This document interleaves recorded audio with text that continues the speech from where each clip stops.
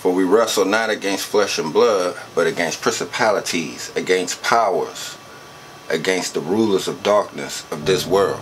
The purpose of this documentary, the purpose of this short documentary, short film, is to bring light to my situation uh, and justice as well. Uh, and to not just me, but to many others who may be going through this injustice and um, who are being quietly swept away with no voice um, and no one to help you and no one to save you.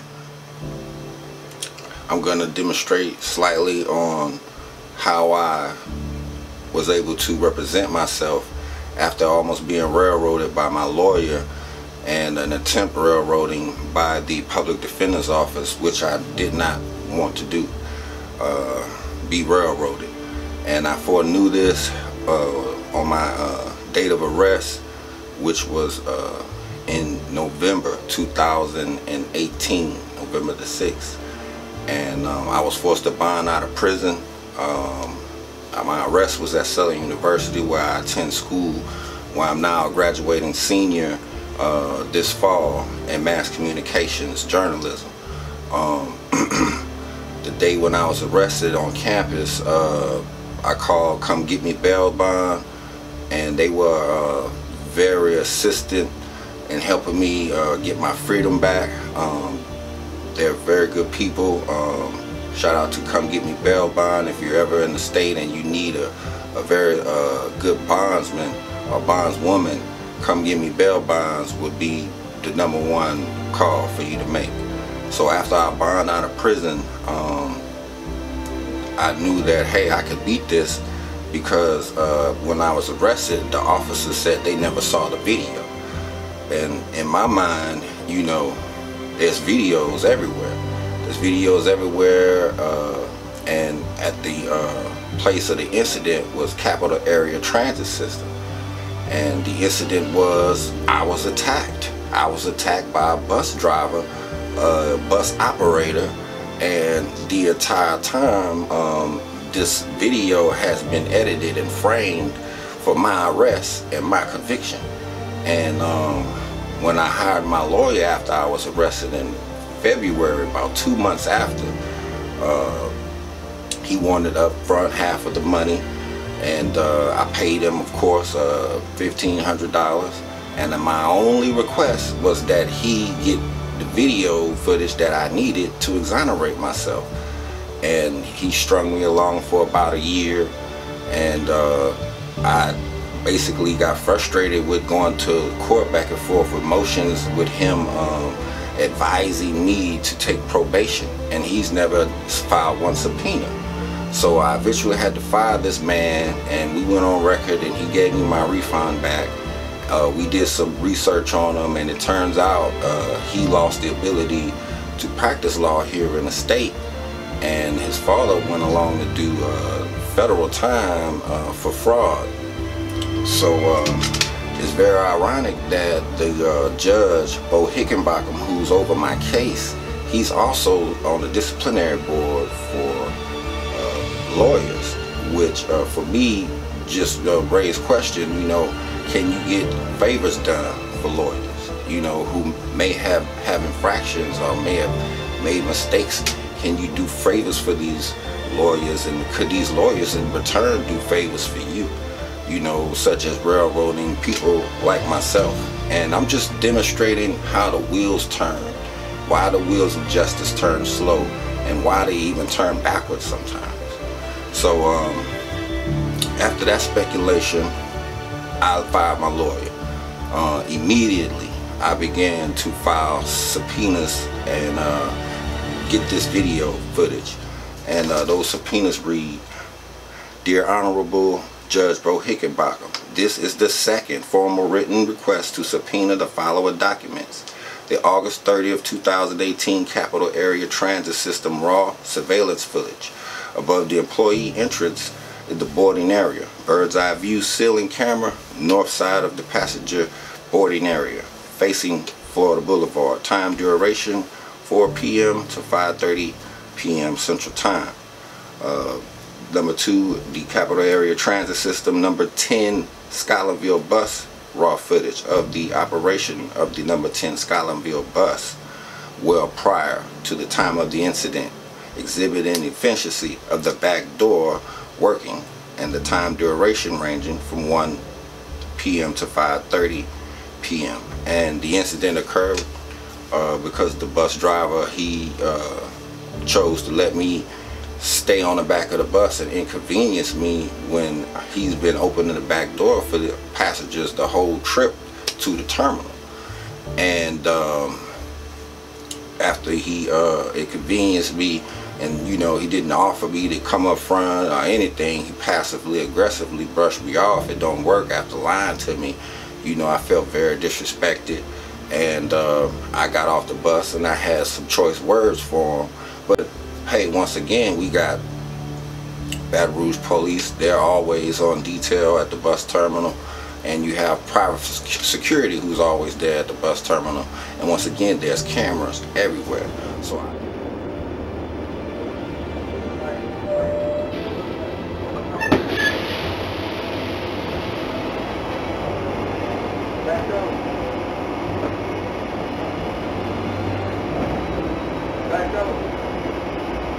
get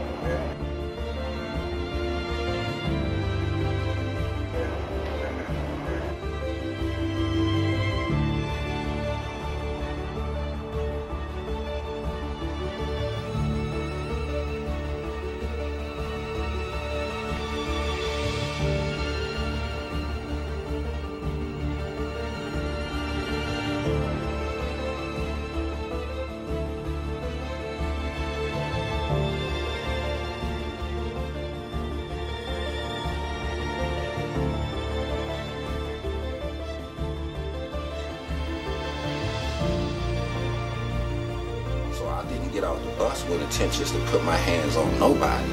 This man, when he responded, he did not respond professionally and uh, handle the matter and get me uh, prohibited from riding the bus and definitely for my profanity towards him. Uh, you know, he basically responded, you know, as if he was, you know, um, not a bus driver. You know, he didn't have any type of uh, any type of uh, professionalism about it. You know, at the end of the day, he attacked me. He walked up on me after he hit it. After he hit me, I go backwards, and as you can clearly see, this man is in pursuit of uh, of me, and I had to uh, ward him off with my backpack. I did everything I could. I back paddled in front of the bus. I back paddled on side of the bus, and that's when he chased me, and that's when the fight was on, and I had to defend myself. And that's what I told the arresting officers at Southern when they arrested me after they wrestled me down and, you know, handcuffed me and they stood me up. And I told them, listen, I'm not going to let somebody put their hands on me. You know, nobody's going to walk up to me and put their hands on me. That's just not going to happen. And that's what he chose to do. He hurt his knee. I didn't even physically hurt him at all when it came to the fight.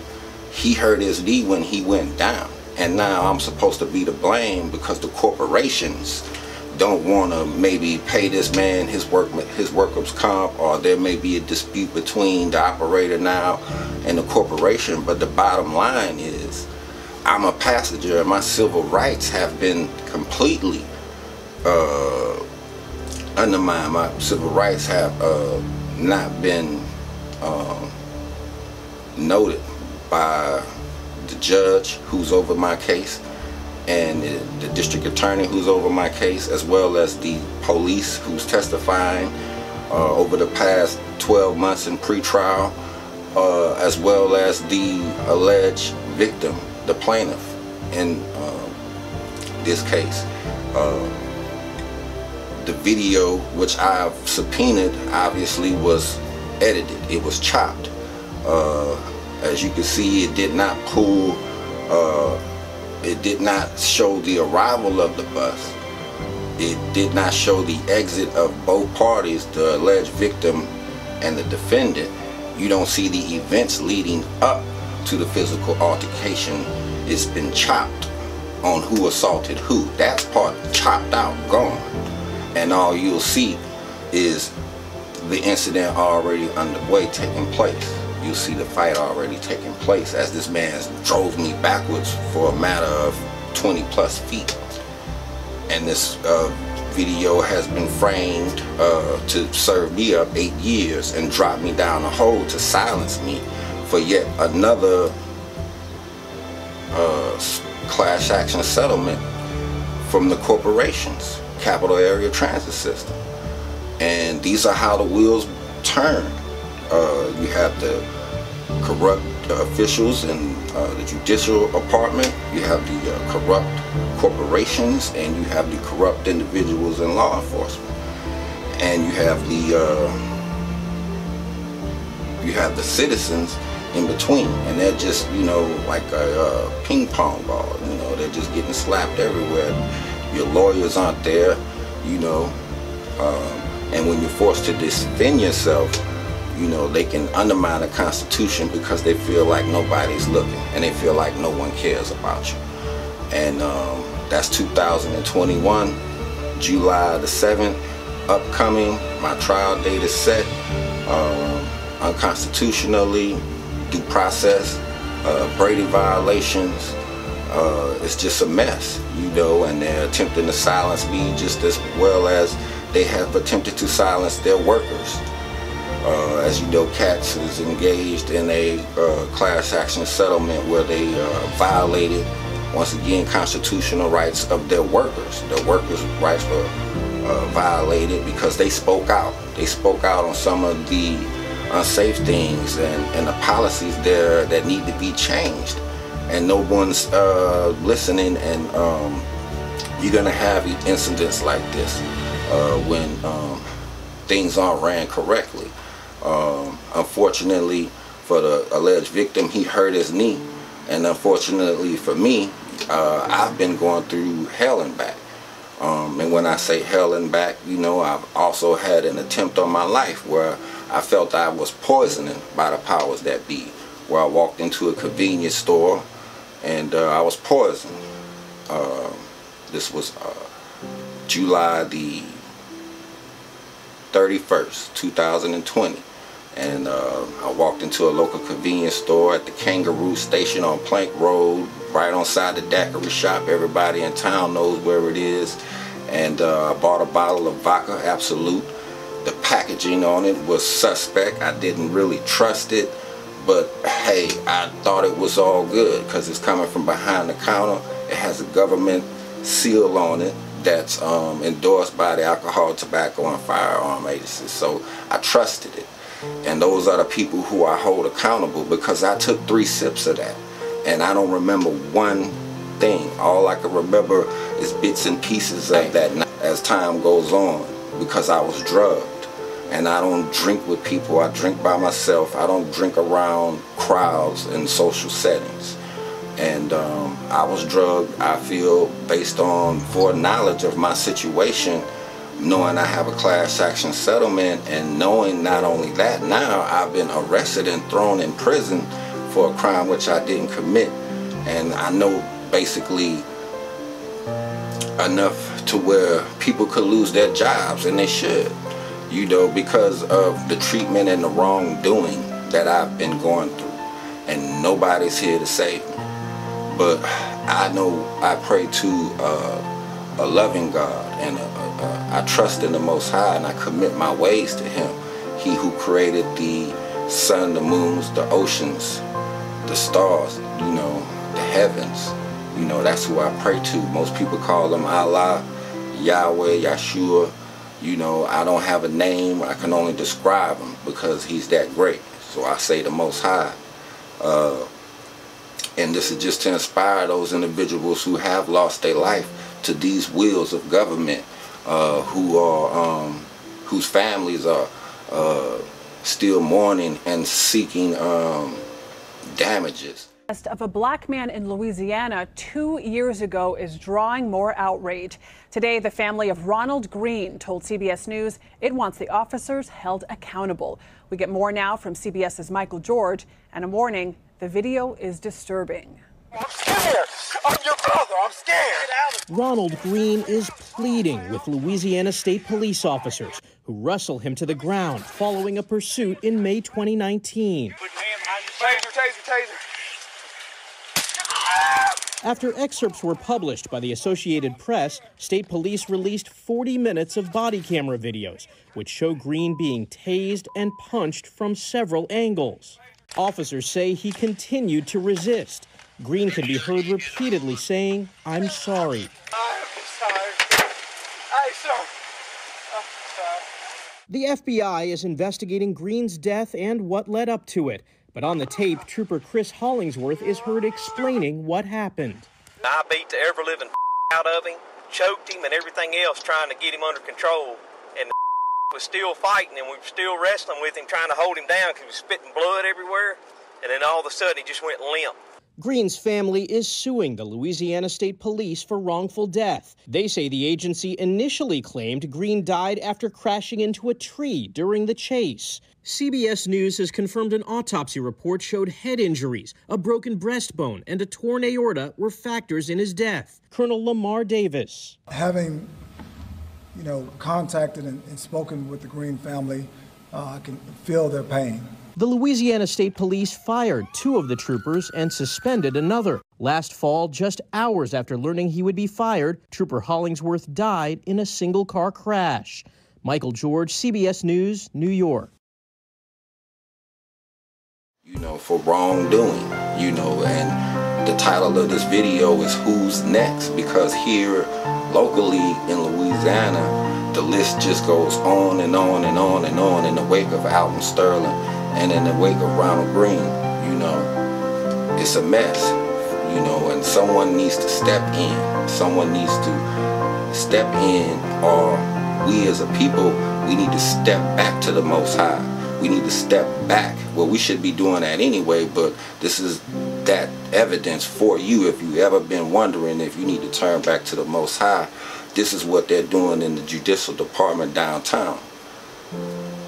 Uh, this is why, you know, people are doing time for crimes that they didn't commit. And these videos are showing that. Uh, you know, uh, my condolences to the family of Ronald Greene. You know, my condolences uh, to the family out in Sterling. You know, all those uh, individuals who were wrongfully convicted from um, detectives destroying evidence, going into the evidence room, uh, you know, framing people, women who've done three years uh, without uh, you know, due process, uh, civil rights being violated. And this is a continuous thing. This is business as usual here downtown at 19th JDC.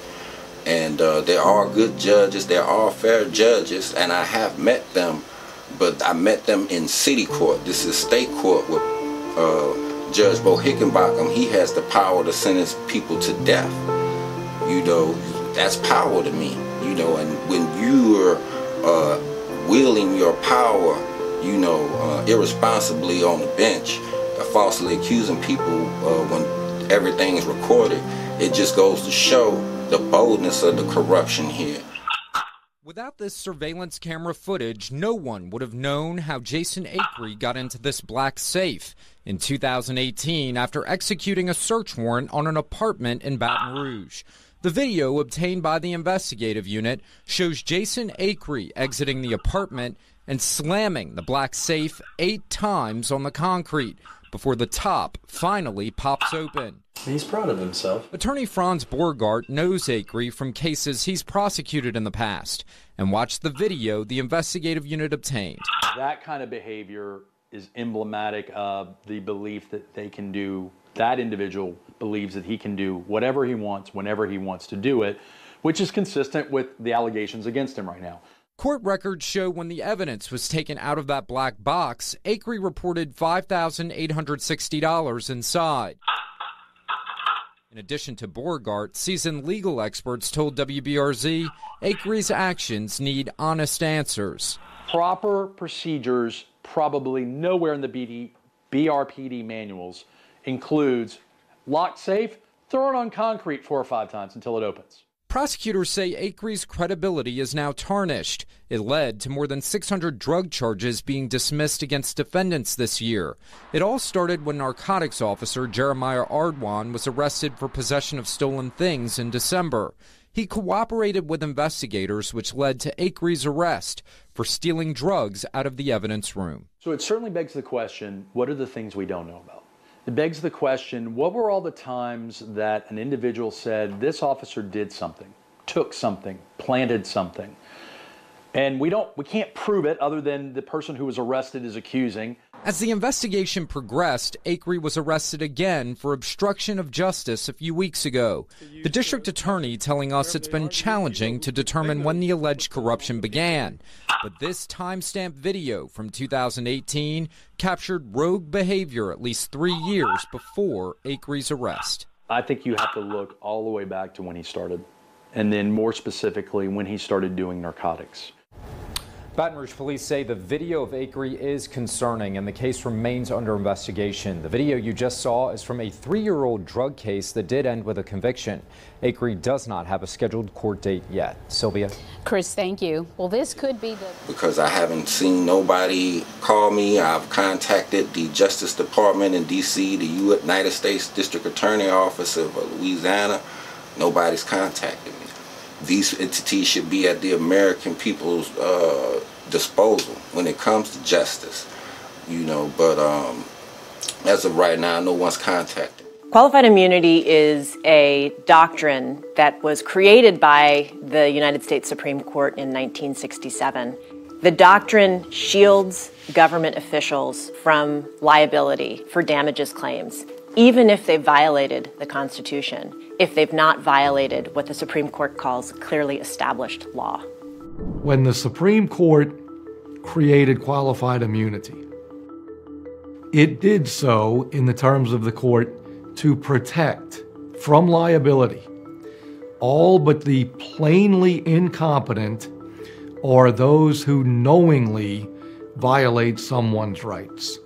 There's an ongoing vigorous debate about whether qualified immunity is important for police officers to have.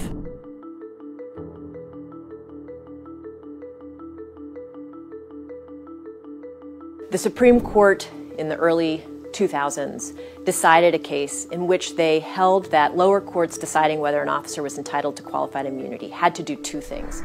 One is that there needs to be a constitutional violation. Do the actions of this officer violate a constitutional right? Yes or no? That officer may still be entitled to qualified immunity by virtue of the second inquiry, which is whether or not that right had been clearly established at the time of this now decided upon violation. There needs to be a prior court case holding the conduct unconstitutional, sufficiently similar in factual terms to the case before the court that the factual circumstances of that case would inform the defendant that the conduct was unconstitutional. So, uh, this is inspiration for all of you to just, uh, you know, keep your eyes on the Most High because uh, He's definitely looking and He's uh, watching down and He's definitely gonna deliver us all. Uh, stay strong, you know. Uh, I, like I say, I got till July the 7th for an unconstitutional trial, which I don't call a trial. I call it a lynching in my words. So, uh, like the title of this video, who's next?